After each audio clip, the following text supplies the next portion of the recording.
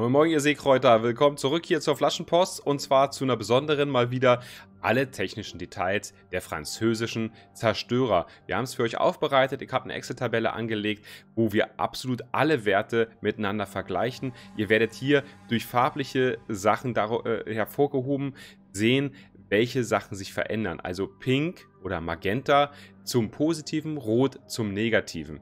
Ähm, natürlich äh, ist es ein bisschen schwer äh, ins Verhältnis zu setzen.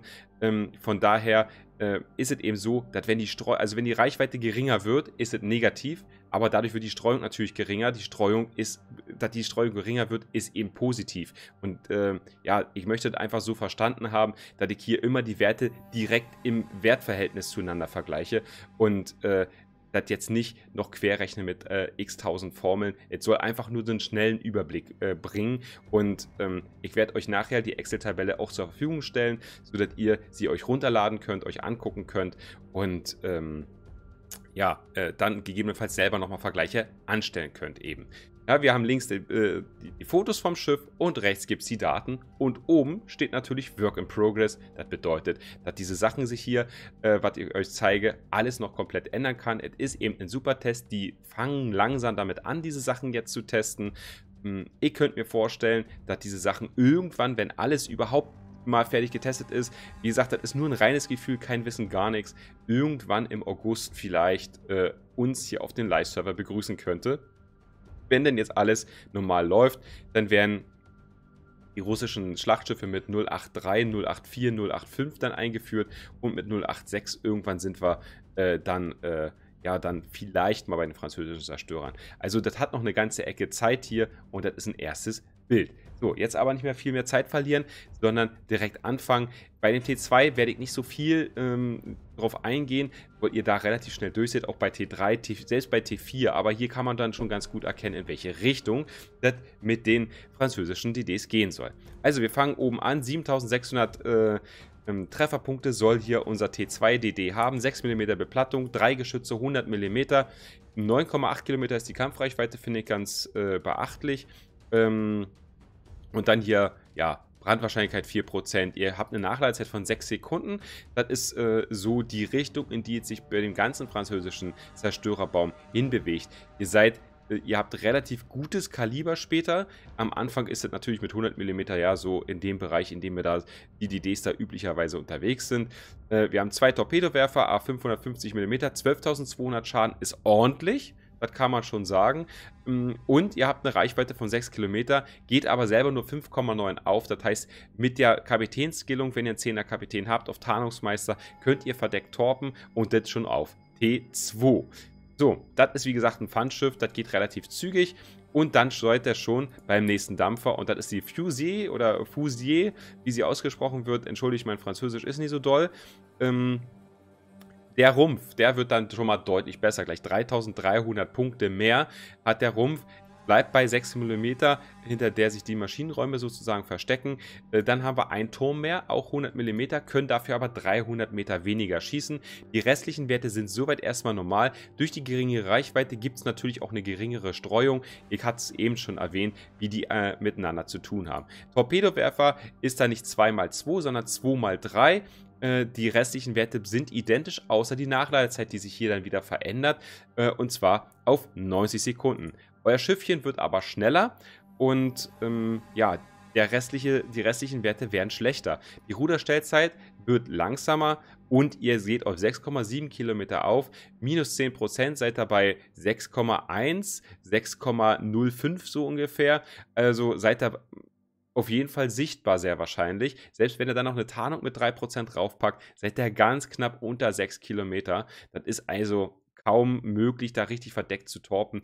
Wobei bei T3, da ist es eher sowieso noch ein bisschen arcade-lastiger. Von daher ist das vielleicht auch ganz okay. Ne? Lässt sich sicherlich mitleben.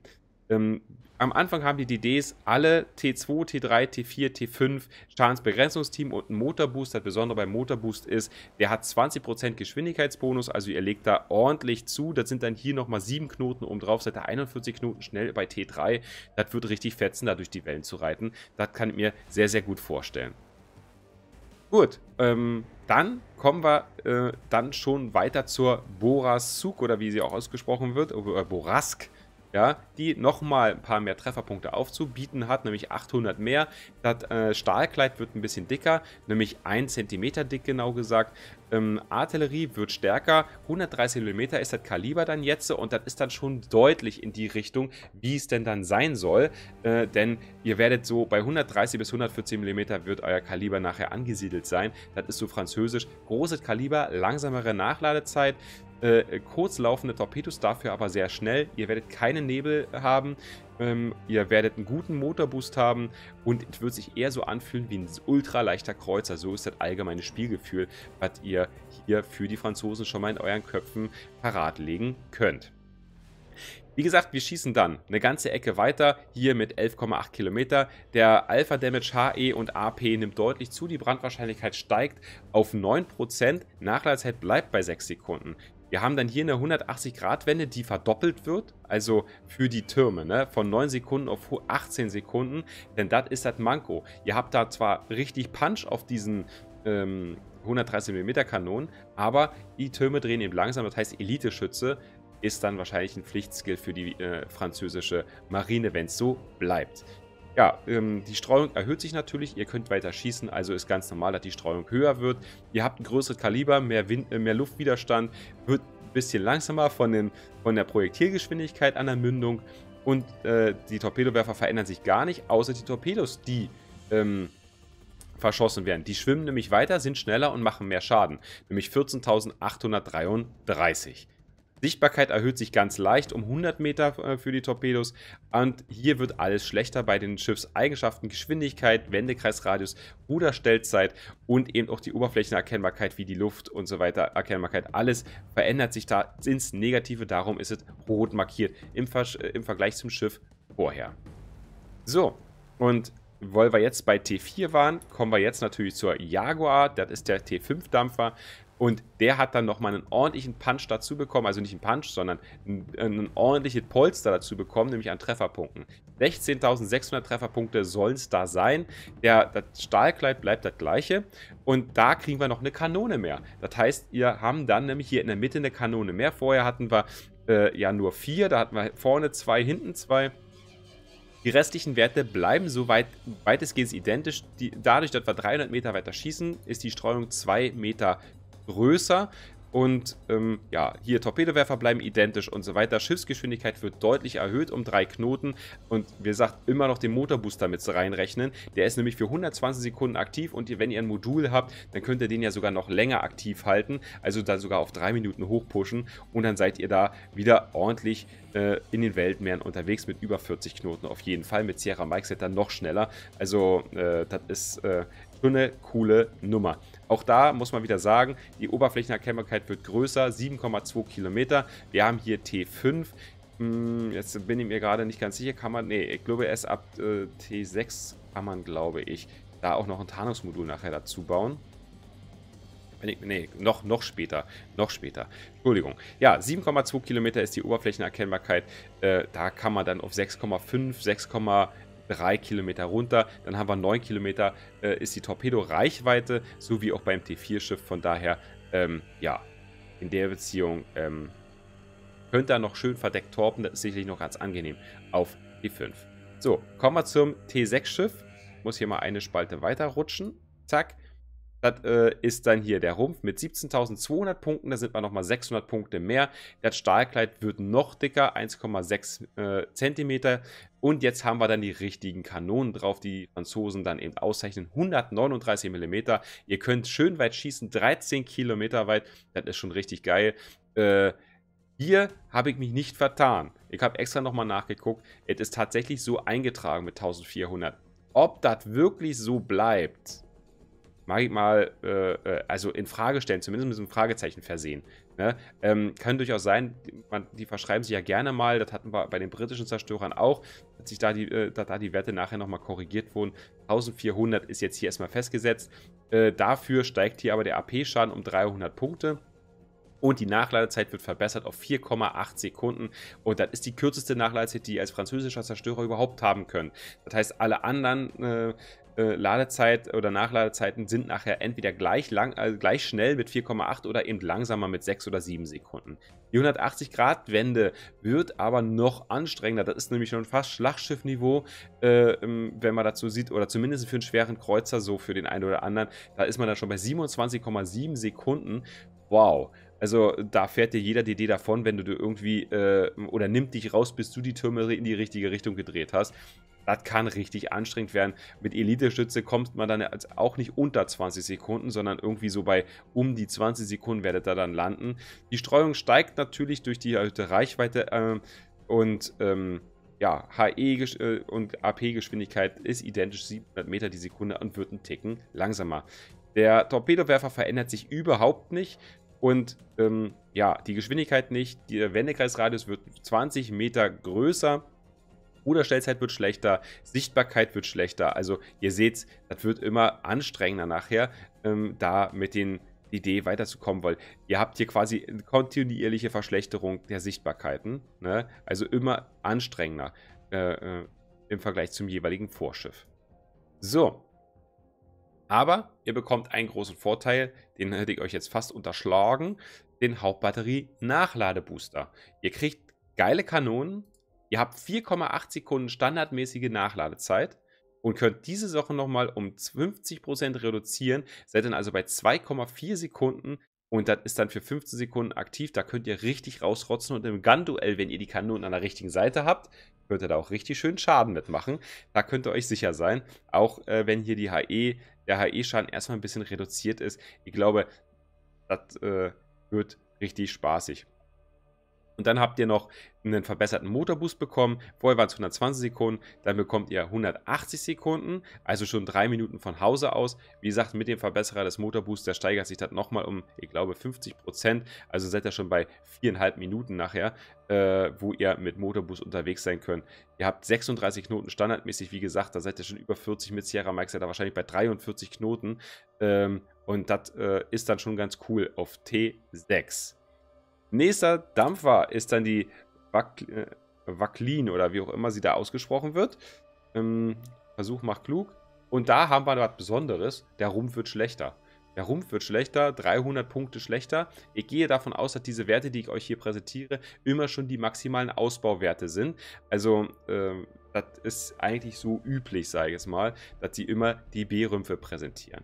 Ne, wir haben dann hier, die Artillerie verändert sich überhaupt nicht bei dem, äh, bei dem T7-Schiff. Ihr seht, es sind absolut die identischen Werte, aber es kommt der verbesserte Torpedowerfer zum Einsatz. Ihr habt dann nicht, nicht mehr 2x3 550 mm, sondern ihr habt 3x3 550 mm. Davon ist einer rechts, einer links an, äh, an Bord und einer in der Mitte. Also der kann beidseitig abgeworfen werden, die einen dann nur nach rechts und die anderen nur nach links. Ihr Schaden wird deutlich verbessert, nämlich mit 18.400 Alpha-Damage-Punkten sind sie schon der Hammer. 8 Kilometer schwimmen sie aber dafür nur noch weit, das heißt ein Kilometer kürzer als vorher und die sind langsamer unterwegs. Die Nachladezeit an sich verändert sich nicht, aber die Torpedo-Erkennbarkeit wird besser, das heißt, ihr habt eine höhere Chance zu treffen, weil Schiffe, wenn sie nicht Hydro haben, eben nicht so leicht ausweichen können.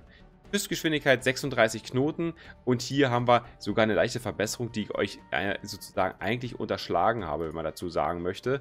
Ja, ähm, hier kriegen wir nämlich 670 Meter hin und hier haben wir sogar ähm, bei der Ruderstellzeit eine, äh, eine Zehntelsekunde gespart und 100 Meter Oberflächenerkennbarkeit haben wir hier auch noch, die hier besser ist. Alles andere wird, äh, wobei hier haben wir dann auch nochmal was, äh, mit der Erkennbarkeit im Nebel. Das bastel ich hier gleich nochmal mit drauf. Das habe ich anscheinend übersehen, das tut mir leid. Aber ähm, dat, wir sind ja alle Menschen. Also, geht dann gleich weiter. Äh, beim Schadensbegrenzungsteam Hauptbatterie, Nachladebooster, Motorboost verändert sich gar nichts mehr. Und ähm, ja, deswegen können wir uns gleich mal angucken, wie es dann äh, weitergeht. Und wir sind dann beim T8-Dampfer Le Fantas, äh, Fant, Fantastique oder Le Fantasque so wird es, glaube ich, ausgesprochen. Die hat dann wieder eine deutliche Verbesserung. Ich glaube, dass das eins der coolsten Schiffe sein kann. Äh, die Le Terrible ist ja auch schon kein schlechter Dampfer. Da kann man sich da schon mal so einen Vorgeschmack holen, wie dann die Le Fantast sein wird. 18.500 Trefferpunkte, 19 mm Stahlkleid. Und wir haben Wieder fünf Türme, zwei vorne, zwei hinten, einen in der Mitte. 2000 ist dann der Alpha-Damage, der wird dann also wieder deutlich aufgebohrt. 10% die Brandwahrscheinlichkeit und 2700 der Alpha-Damage für AP-Granate. Die Nachladezeit wird leicht erhöht auf 5 Sekunden, was ich aber noch erträglich finde, gerade in Anbetracht dessen, dass man eben wieder den Nachladebooster hat, der dann auf 2,5 Sekunden wieder runter reduziert und euch dann gegenüber den anderen Schiffen schon einen ordentlichen Vorteil gibt. Vor allen Dingen, weil ihr ja auch einen viel höheren Alpha-Damage-Wert habt als manche andere Schiffe auf dieser 4-Stufe. 840 Meter die Sekunde, das heißt ein sehr direkter Schuss wird der, äh, wird die Lefantast dann hier haben. Und bei den Torpedowerfern gibt es kaum eine Veränderung, außer bei zwei Werten. Nämlich, äh, der Torpedowerfer wird äh, Torpedos abfeuern, die euch noch überholen, nämlich 75 Knoten. Ihr habt schon einen sehr schnellen DD mit 43 Knoten von Hause aus. Ne? Dann gibt es ja, wie gesagt, äh, 20% Motorboost. Das heißt, da sind wir nochmal bei 8,6 Knoten mehr. Dann sind wir schon bei über 50 äh, Knoten angekommen. Dann gibt es noch eine Sierra Mike. Also da seid ihr dann richtig spaßig dabei. Ähm, und ja, 75 Knoten sind die Torpedos schnell. So langsam wie bei der T7DD, wie beim T7DD dürfen die gar nicht sein, weil da gibt es das Risiko, dass ihr euch in eure eigenen Torpedos reinfahrt. Also, äh, das ist äh, so ein bisschen der funny Moment dabei. Torpedo-Erkennbarkeit wird natürlich auch erhöht, äh, damit der Gegner vielleicht irgendeine Chance hat, im entferntesten Sinne vielleicht eine Chance hat, den Torpedos irgendwie mal ein bisschen äh, ausweichen zu können, um den Schaden zu minimieren. Weil die haben schon ordentlichen Schaden mit 18.000 und dann sind sie so schnell und gehen erst bei 1,4 Kilometer auf. Ich glaube, mal ganz ehrlich, also das ist kaum noch auszuweichen im Moment. Das, äh, ob das so bleibt, mag ich jetzt mal bezweifeln. Weiß ich nicht genau. Ob sie da nicht doch dann lieber auf 70 Minuten runtergehen. Weiß ich nicht. Müssen wir schauen. Mal sehen, was der Test so hm, zeigt. Wendekreisradius wird natürlich, äh, wie bei allen Schiffen, eigentlich immer durchweg schlechter fast. Der T7 hier ist eine Ausnahme. Ruderstellzeit 4,3 Sekunden, 8,2 Kilometer Erkennbarkeit ist dann richtig heftig, aber ab hier an könnt ihr dann auch das Tarnmodul mit einbauen. Das heißt, ihr könnt hier äh, zweimal, also einmal 820 Meter und dann äh, könnt ihr euch nachher was sind wir denn bei 820? Ähm, ja, 7,5, 7,4. Dann könnt ihr nochmal 740 Meter abziehen und dann äh, ja, sind wir auf jeden Fall wieder in einem gesicherten Bereich, wo auch unterhalb der, Erken äh, der also unterhalb der Reichweite der Torpedos seid. Das heißt, äh, ihr könnt verdeckt torpen. Auch mit dem T8-Schiff ist es dann wohl möglich. Lufterkennbarkeit 4,1 steht hier zu Buche. So, und dann kommen wir zum T9-Schiff, die Mogad Mogador, so heißt sie. Ich muss da immer nochmal doppelt hingucken bei den ganzen französischen Namen. Auch da erfahren wir eine deutliche Steigerung. 1700 Trefferpunkte mehr im Rumpf, 19 mm. Das ist dann auch der Rumpf, äh, der bis zum Ende bestehen bleibt von der Dicke her. Das ist ja typische äh, Rumpfdicke bei den, äh, bei den Zerstörern allgemein im Spiel. Und hier gibt es dann eine Veränderung. Wir haben dann nicht mehr äh, Einzelrohrtürme, sondern Doppelrohrtürme. Wir haben hier 5x1 bei der Lepantask. Und ähm, bei der Mogador sind es dann vier Türme A2-Rohre. Also ihr habt acht Rohre mit 139 mm. Hier könnt ihr sehen, zwei vorne, zwei hinten. Ähm, und die schießen dann 13 Kilometer weit sogar. Ähm, ja, das muss natürlich irgendwie so ein bisschen äh, Einhalt geboten werden, indem hier nochmal die Nachladezeit äh, verändert wird, nämlich auf 7 Sekunden hoch. Und mit dem Torpedo nach, ach, mit dem Hauptbewaffnungsnachladebooster äh, könnt ihr dann auf dreieinhalb Sekunden runterkommen. 113 Meter ist die horizontale maximale Streuung und der Rest bleibt wieder unverändert. Der Sigma-Wert ist bei allen französischen DDs hier mit 2,0 angegeben, also verhältnismäßig genau. Ne? Äh, dann haben wir Torpedowerfer und das ist wieder was Besonderes, eine interessante Anordnung. Wir haben vier Torpedowerfer, zwei Steuerbord, zwei Backbord, besteht aus jeweils äh, drei Rohren, 550 Meter und da sind dann wieder die schlechteren Torpedos drin, nämlich die von der T ähm, 6-Stufe. Ja, ähm, also T7, T8 ist da noch nicht verbaut in diesen Werfern. Die kommen dafür aber 9 Kilometer, sind dafür aber eine ganze Ecke langsamer mit 60 Knoten. Nachladezeit wird dafür reduziert auf 60 Sekunden und äh, die Erkennbarkeit des Torpedos wird verbessert, also auf 1,3 Kilometer, nicht mehr 1,4. Schiffsgeschwindigkeit nimmt zu, Wendekreisradius nimmt deutlich zu, also 40 Meter nochmal mehr, jetzt sind wir schon bei 730 Meter. Wow, äh, die Nelson hat, äh, gut, das ist ein T7-Schiff, hat so einen ähnlichen Wendekreisradius. Ist ein Schlachtschiff, hier seid ihr aber ein Zerstörer. Naja, also nur mal so zum Vergleich. Ist ein bisschen, der hinkt ein bisschen gebig zu, aber das kam mir gerade in den Sinn. Die Oberflächenerkennbarkeit verbessert sich und die Lufterkennbarkeit auch 8,1 Kilometer. Wie gesagt, Tarnungsmeister, äh, Tarnmodul und eben die Tarnung auf dem Schiff ist möglich. Das heißt, ihr kommt da auf jeden Fall unter deutlich unter 7 Kilometer von der Erkennbarkeit. So, dann seid ihr hier mit 9 Kilometer Torpreichweite, seid ihr wieder safe mit Torpen. Äh, das hatten sie auch gesagt, dass verdeckt Torpen möglich sein soll mit den französischen äh, Zerstörern. Kann man sie ja kaum noch nennen. Das ist, die sind ja wirklich schon so groß und äh, von der Länge oder beziehungsweise auch hier von der Wende, vom Wendekreis und so weiter, da kann man ja schon echt sagen, das sind ja ultraleichte Kreuzer. So wurde das ja auch im Stream damals bezeichnet. Und zu guter Letzt kommen wir dann zum T10-Zerstörer, die Kleber. Ich glaube, das ist das einzige Wort, das ich vernünftig französisch aussprechen kann. Äh, 21.900 äh, Trefferpunkte gibt es auf dem Rumpf. Auch da sind die gleichen Geschütze drauf wie bei der Mogador. Und ähm, ja, ihr könnt nochmal weiter schießen, nämlich 600 Meter weiter. Die Streuung nimmt nochmal zu, aber nur um 4 Meter. Ähm, also verkraftbar, würde ich sagen. Die restlichen Werte hier bleiben auch bei 7 Sekunden Nachladezeit. 18 Sekunden ist die Turmdrehzeit bei um 180 Grad. Das heißt, mit Elite-Schütze kommt ihr dann bei wahrscheinlich 15, 14 Sekunden raus. Das ist, denke ich mal, verkraftbar als äh, ultraleichter Kreuzer. Ja, und wir werden auch wieder äh, vier Torpedowerfer mit jeweils drei Rohren haben. Äh, der Schaden erhöht sich deutlich wieder auf den Schaden, den man schon auf der äh, äh Lefantask hat. Ähm, und die Reichweite nimmt ab, aber ihr habt äh, 75 Knoten schnelle Torpedos. Stand heute. Nachladezeit ist dann nicht mehr 60, sondern 77 Sekunden. Äh, die Torps sind natürlich wieder so weit sichtbar wieder im T8-Bereich. Und ja, der Wendekreisradius, die Ruderstellzeit erhöhen sich dann hier. Aber 4,8, okay, da baut man das Ruderstellzeitmodul möglicherweise mit ein. Und schon hat man da 20% gewonnen. Also von daher ist dann auch unter äh, 4 Sekunden äh, Ruderstellzeit eben möglich. So, äh, Oberflächenerkennbarkeit äh, mit 8 Kilometer angegeben. Auch da kommen wir dann unter die 7 Kilometer ohne größere Probleme und können natürlich auch äh, verdeckt korben. Schadensbegrenzungsteam, Hauptbatterie, Nachladebooster und Motorboost ist auch hier aktiv und werden dann auch nicht weiter verbessert.